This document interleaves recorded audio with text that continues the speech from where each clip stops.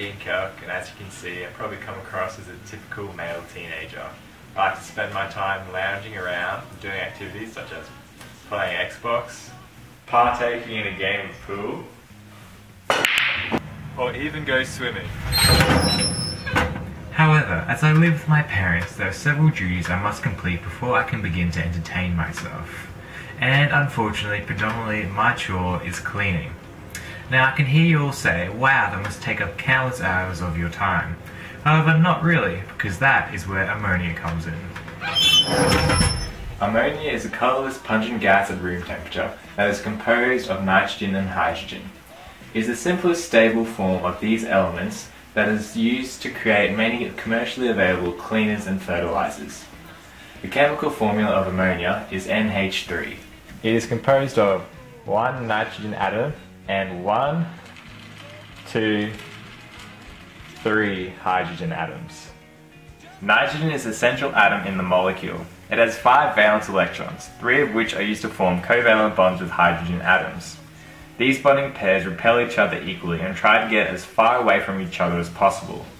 The lone electron pair demands greater angular room and therefore exerts pressure on the other three covalent bonds between the nitrogen and hydrogens.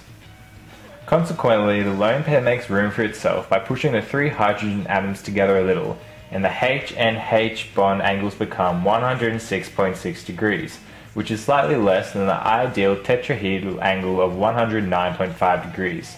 Hence, ammonia is said to have a trigonal pyramidal structure. However, now I bet you're wondering how ammonia is supposed to help you with cleaning around the house. Well, I'm just about to tell you.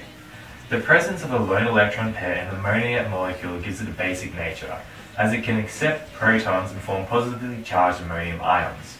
Therefore, ammonia can steal a hydrogen nucleus from water to create ammonium hydroxide. The household ammonia that we use today as a cleaner is actually dilute ammonium hydroxide. Inside this bottle is a large quantity of water and smaller quantities of ammonium molecules and ammonium hydroxide. The ammonium hydroxide reacts with and breaks down the fats and oils found on the glass into simpler compounds. These compounds can then be dissolved in the water, which is wiped away and quickly evaporates from the surface, leaving no streaks or smear marks on the glass. Ah, now that's all done, I can get back to the important stuff. Be said.